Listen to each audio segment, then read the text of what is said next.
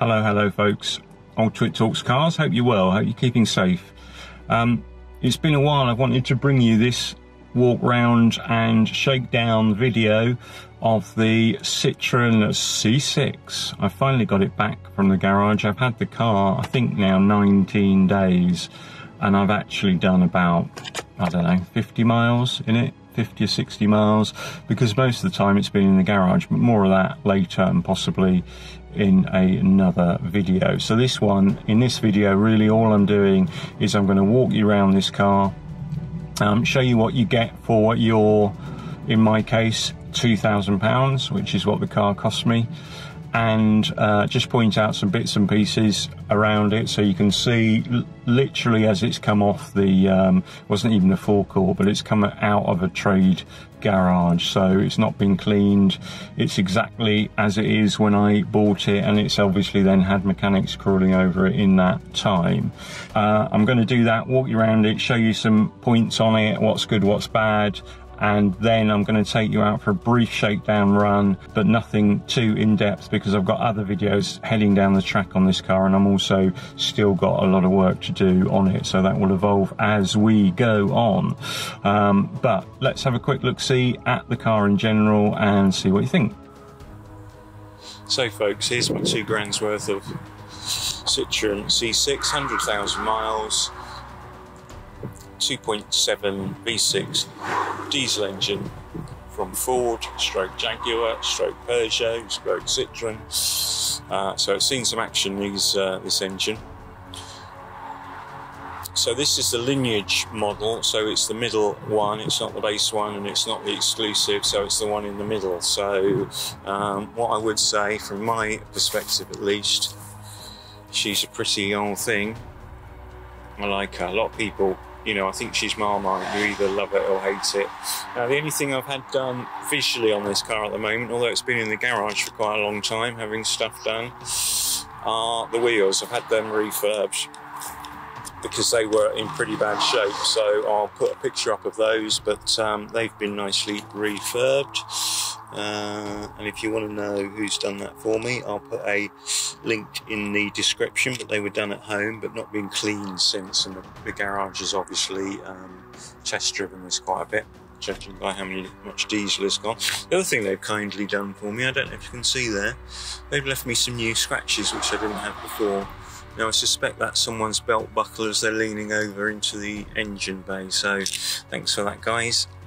Hopefully that'll polish out like I say, I've not touched this car in terms of cleaning or anything. So some of the things I want to get onto is get these headlights cleaned. That's got some, I think that's where someone's um, sort of lacquered them before to protect them. So they cleaned them and then lacquered them. And that's the old lacquer because that just scrapes off. So hopefully I'll be able to do something with that as well. I mean, logically, she's in pretty good shape. That headlight is quite opaque, so that's going to get done excuse the bird poo. Like I say, she's genuinely in uh, off the lot condition, as it were. So yeah, I like the look of her. She's uh, she's a beaut, I think. Um, she'll look a lot happier and nicer when she's had a clean. Speaking of clean, uh, I'm doing about these. I mean, if anyone knows about them, I'm going to have a go, but they're not looking too too happy. They sort of look like brushed and they're not meant to, I don't think. Uh, here's another little thing of note. That's got to be changed at some point. These are laminated all round, so that's part of the joy is the car is really, really quiet. What happens to these, um, and I'll show you, I don't know if you saw that, but they drop and go up. I'll do it again. There you go. So they drop and then couple of mil and then they uh, close again when you shut the door because they're um, frameless. So what happens here when the battery goes dead or it's disconnected and someone opens the door and then slams it, this is what can happen. Uh, so that needs dealing with. They're 200 and I want to say 270 quid fitted, the laminated ones, and a toughened one is 150 quid, typically.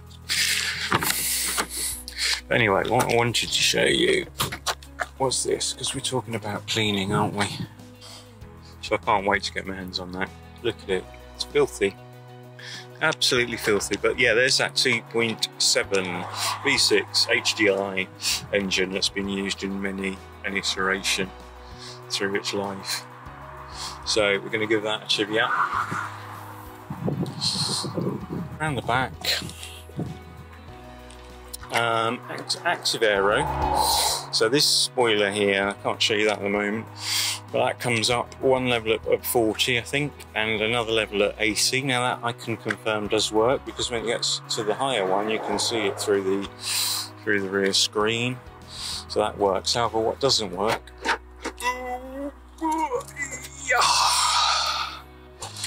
are the struts. I've just ordered two new ones, which I think were about 30 quid for the pair. Um, so it's all right till about there, but then, and that is amazingly heavy. I don't know why, it, probably because of all that spoiler gubbins, but that's a heavy boot that. It's actually quite deep. It's sort of shallow that way, but deep that way. That's broken and loose. So someone's reversed into that into something. So I've got another one of those, uh, and I suspect that'll be a nightmare to fit, but I'll have a go. I thought there was a little ding. Yeah, there is. There's a little ding just below the O on Citroen. I don't know if you can see that. That's about the only little ding I've found. There are a few scratches, but you'll see when I let go of this. Put your fingers in there. So with the Lignage trim, or with this one at least, it's half leather, um, which actually is growing on me, but these seats are super comfortable. I haven't got all the gubbins with the electric back seats because that's for the really posh folk. Um, I've just got the normal ones, but this is my knees behind the seat for me, so I'm six foot two-ish. So, you know, it's not, you know, it's not amazingly good, but it's pretty good. You see, if you can see my head, So, you know, it's not huge in here, to be fair, but it's plenty big enough. And it's very comfortable. I mean, the seats are comfortable. You've got aircon in here. You've got two uh, cigarette lighters. I mean, you can tell it's a French car. It's actually littered with ashtrays. So there's one in the door there. Obviously, one in the other door.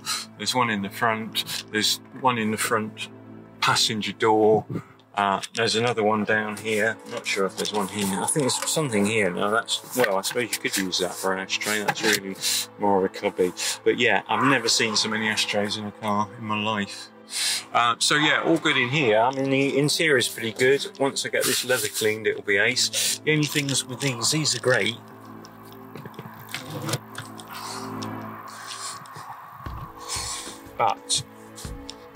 I don't know what to do with those. I'll have a play with those. The front one's quite scratched as well. Anyway. So yeah, it's all good interior really. Uh, front wise,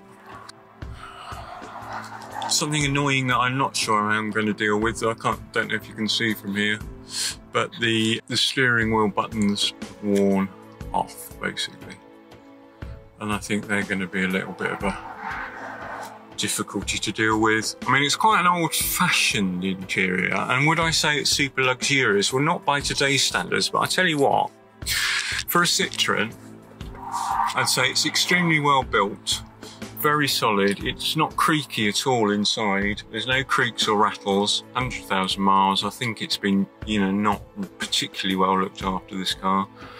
Uh, and everything's solid. And boy, it's a comfortable car. I've not had it on the motorway yet, but it's going to be just an epic motorway car. Um, so you've got a CD player and what have you. Stereo is quite good. I think the up the exclusive model had an even better JBL, but this one's not too shabby. Uh, full electric on the driver's seat. Um, partial electric on the passenger seat, which seems odd, doesn't it? Because if you're going to bother putting switch blanks in, you might as well put the switches and the motors in. And you've only got one set of pieces to worry about. But yeah, very comfortable, lumbar support and everything else. No sat nav here, but I don't care. You know, Google Maps for me is brilliant. Um, I love it. Six speed box. Um, double cubby there, so big cubby which is air conditioned. So we put some malt loaf in there yesterday, uh, and we did a bit of a 50 mile run, and it was literally ice cold when we got it out because you can route the air conditioning routes through there. That comes up and down. So bit of adjustment there. Got to get that sorted out at some point, but it's not really a priority for 270 quid. Uh, more of a priority is getting the cam belt changed, which needs doing. Um, don't think it's ever been done. And it's 10 years old, this car now, so anything over eight should really have it done, even if it has not reached its mileage requirement. Uh, like I say, I'm going to have a map done and I'm going to have gearbox oil changed, even though it's a sealed for life unit, because I'm sure that that's a good idea and will help the um, help the changes. So there you go. That's what you get for two grand. So I took this car on with a few glitches and problems. Uh, I've already spent a lot of money on it and I've got some more that I want to spend. So that's going to be the subject of a separate video where I go open book on everything I spent on it uh, to get it to a state where I'm happy to use this car for the next year or so as my main sort of work car, as it were.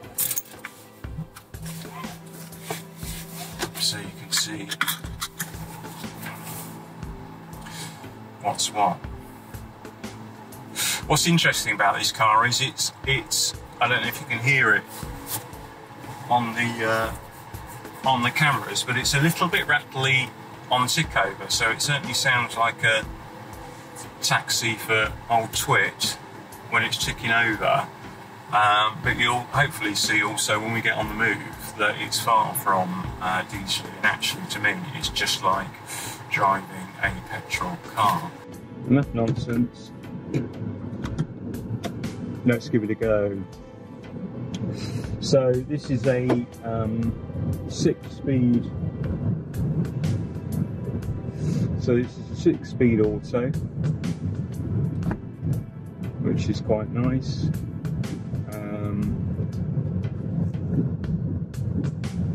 and a lot of the time, but not all of the time, the changes are smooth and pleasant.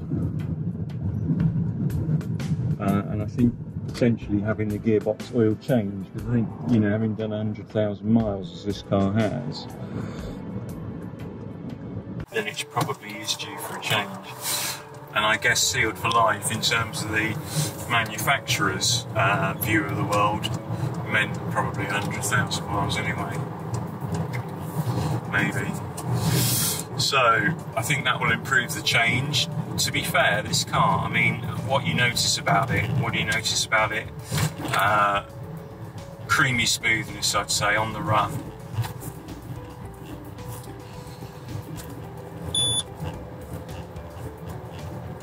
It's just creamy smooth. The ride really is great. I think what's it's the sort of hard car to get your head round when you first drive it.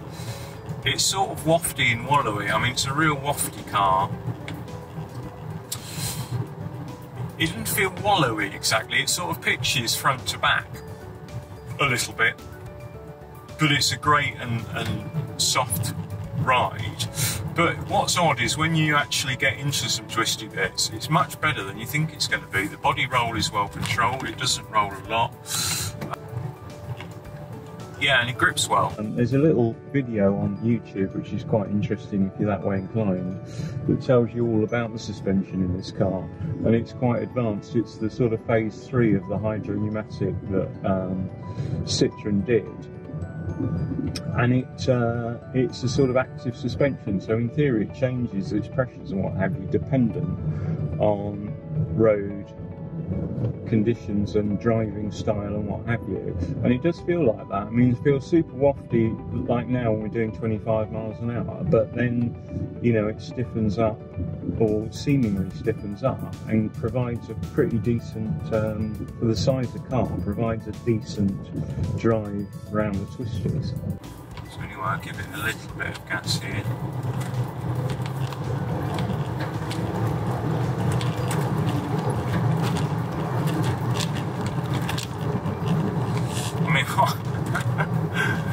it does make you smile. what I'd say is it's just sort of it, is it fast? I don't really know.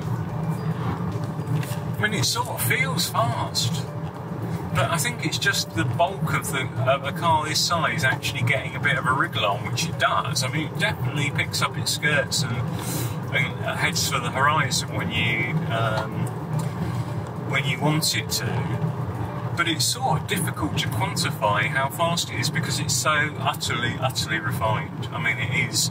I've had, I mean, these are recent cars as well. I've had a 2019 BMW 330i. I've had a 2016 uh, Audi A6 before that. Um, I've had two Skoda Superbs before that. I mean, all sort of decent, wafty type cars. And this is a league ahead, I'm telling you in terms of comfort and refinement and quietness.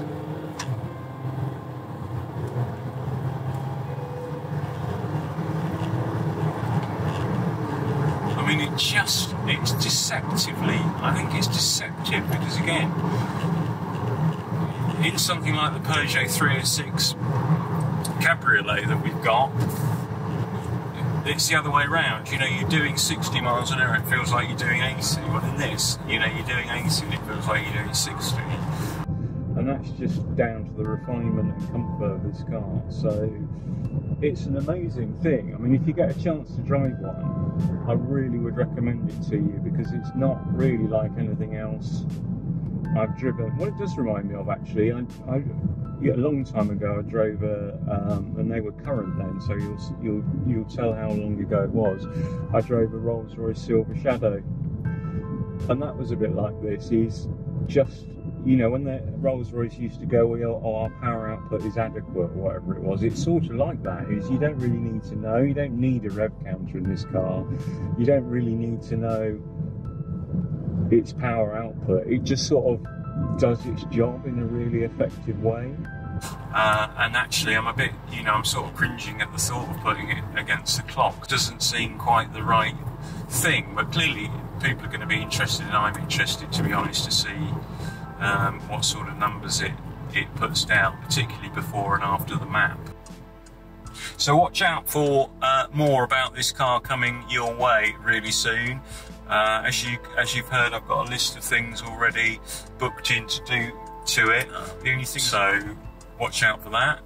Subscribe and hit the bell, and you'll get notifications of them as they come up. And uh, I hope you've enjoyed it.